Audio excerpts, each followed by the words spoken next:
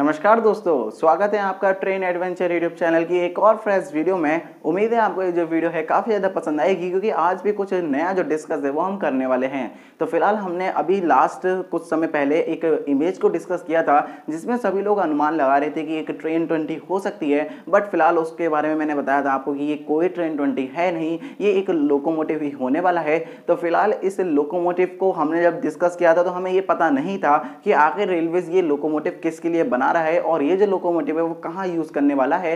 तो फ़िलहाल अभी फिर से एक और इमेज लीक होकर आती है, जिससे पता लग जाता है कि ये जो लोकोमोटिव है कहाँ यूज़ होने वाला है और इस नई लोकोमोटिव को तेजस की जो लिबरी है वो दी गई है। अब आपके मन में ख्याल आ रहा होगा कि ये शायद एक डब्ल्यू ए लोकोमोटिव है तो बिल्कुल सही बात है, ये एक डब्ल्यू ए क्लास का जो लोकोमोटिव है, क्योंकि इसके ऊपर डब्ल्यू ए क्लास का जो नाम है वो दिया गया है।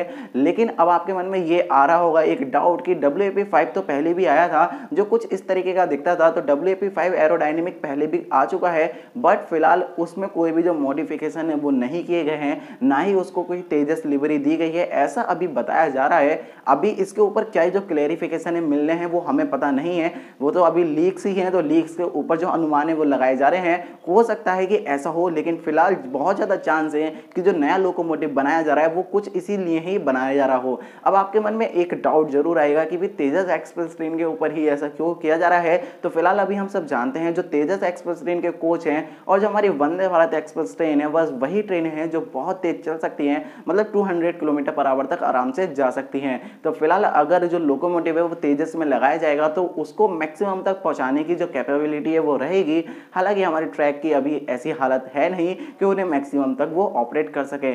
तो फ़िलहाल ये जो लोकोमोटिव है, ये अब किस शेड को जाएगा, इसके ऊपर कोई भी क्लैरिफिकेशन नहीं आया है। अब आपके मन में ये भी डाउट होगा कि ये जो लोकोमोटिव है, वो किस तेजस एक्सप्रेस ट्रेन में हमें देखने को मिल सकता है। तो अभी तो देखो, इसके जो ट्रायल्स वगैरह हैं, वो चलेंगे। इसमें अभी कुछ पता है नहीं कि किसको जाएगा। लेकिन अभी ऑलरेडी जो तीन तेजस एक्सप्रेस ट्रेन है ऑपरेट हो रही हैं, जो कि इलेक्ट्रिक लोकोमोटिव के साथ ऑपरेट होती हैं, जिसमें जो दो तेजस एक्सप्रेस ट्रेन है, जो कि ऑपरेट करता है आई और ये ऑपरेट होती है एक तो नई दिल्ली से लेकर लखनऊ जंक्शन के बीच में, जो कि आई ऑपरेट कर रहा है, और इसी तरीके से एक और आई ऑपरेट कर रहा है, जो कि है हमारे अहमदाबाद से लेके मुंबई के बीच में और लेकिन एक और जो तेजस एक्सप्रेस ट्रेन है, जो इलेक्ट्रिक लोगों के साथ चल रही है, वो इंडियन रेलवे ऑपरेट करता है, जो कि ऑपरेट करता है चेन्नई से लेकर मदुरई के बीच में। तो फ़िलहाल आप बताइए कि ये जो लोकोमोटिव है, ये कहाँ जाने वाला है? और फ़िलहाल ये जो लोकोमोटिव है, ये किस तेजस एक्सप्रेस ट्रेन को मिलने वाला है? और साथ ही ये जो लोकोमोटिव है, ये तेजस एक्सप्रेस ट्रेन को ही देना बेहतर है, या फिर जो हमारी राजधानी एक्सप्रेस ट्रेन है, उन्हें देना बेहतर होता? अपनी जो राय है, वो कमेंट में बता सकते हैं। फ़िलहाल मेरा जो मानना है, वो यही है कि अभी रेलवेज को इन लोकोमोटिव पर ज़्यादा ध्यान नहीं देना चाहिए, क्योंकि हमारे पास ऑलरेडी बहुत तेज चलने वाले लोकोमोटिव है, लेकिन हमारे पास जो ट्रैक है, वो है ही नहीं। तो हम इतने सारे लोकोमोटिव बनाकर कहा, क्या करेंगे और उन्हें किस ट्रैक पर चलाएँगे, ये एक सबसे बड़ा रीज़न आता है सामने निकल कर कि पता नहीं रेलवे से ऐसा क्यों कर रहा है। अगर पहले हम ट्रैक को बढ़िया कर लें तो हमारे पास ऑलरेडी 160 तक चलने की लोकोमोटिव है।